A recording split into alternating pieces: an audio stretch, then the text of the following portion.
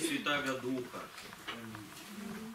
Святаго Отца нашего Иоанна Златоуста, Стагирию Подвижнику, увещание третье, продолжение.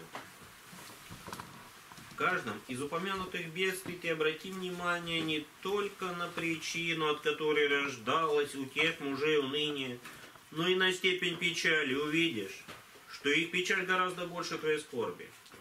Исследуем же теперь, сильнее ли они скорбели, чем ты, а степень уныния обыкновенно определяется не только причиной, от которой оно произошло, но и словами и делами страждущих. Многие, потеряв только деньги, сетовали больше, чем ты, так что иные бросились в море, другие повесились, не вынесшие этой потери, а некоторые чрезмерно печали потеряли даже зрение.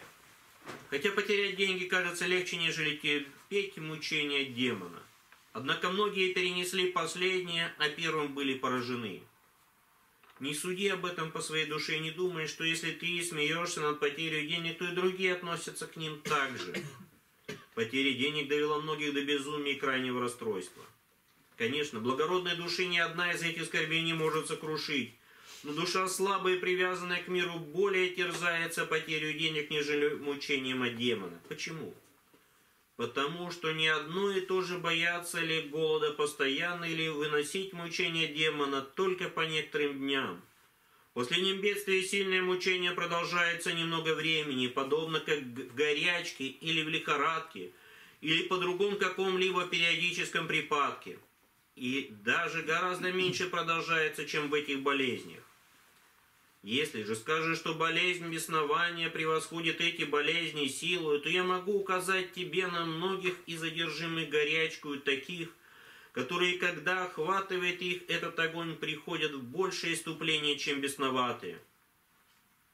А при бедности опасения терпеть недостаток необходимым, как неистребимый червь гнездится в душе бедных и точит ее непрестанно.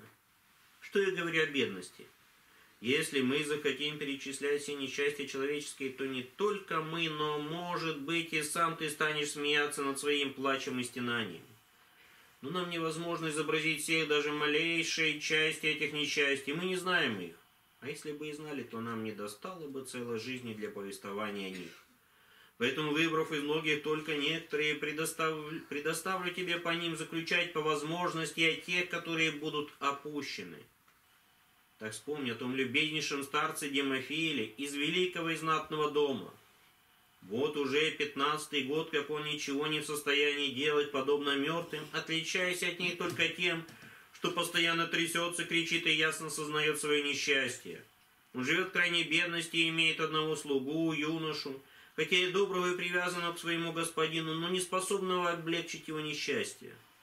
Потому что слуга не может ни избавить от бедности господина, ни прекратить трясение его от расслабления, а может только вложить кусок в уста господина своего, Свои руки не служат последнему и в этом. Подать ему чашу и очистить нос. Кроме этого, он не в состоянии оказать ему никакой помощи. Так бедствует этот старец уже 15 лет, как я сказал. При этом я припоминаю того расслабленного, который страдал таким же недугом 38 лет. Евангелие от Иоанна, 5, 5 глава, 5 стих. Кроме этих несчастных, представь еще Аристоксена Вифинского, который, хотя не расслаблен телом, как тот старец, но одержим такой болезнью, которая гораздо тягостнее расслабления.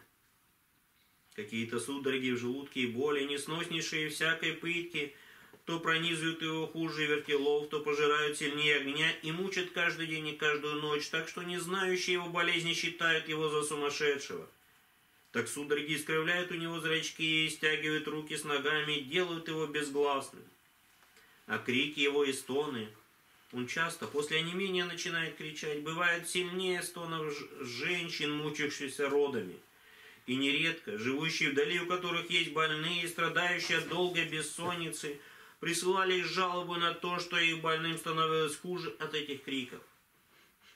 Ты бывает с ним не через долгие промежутки времени, но по нескольку раз днем и по нескольку раз ночью.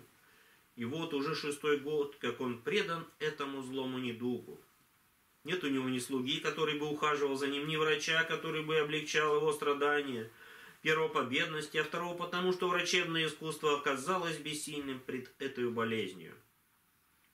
Многие врачи долго трудились над ним, так как у него прежде было много денег, и нисколько не помогли ему. А что всего тяжелее, никто из друзей уже не хочет видеть его, но все оставили его, даже те, которые прежде много были облагодетельствованы им. Если же кто-нибудь и войдет к нему, то тотчас же убегает.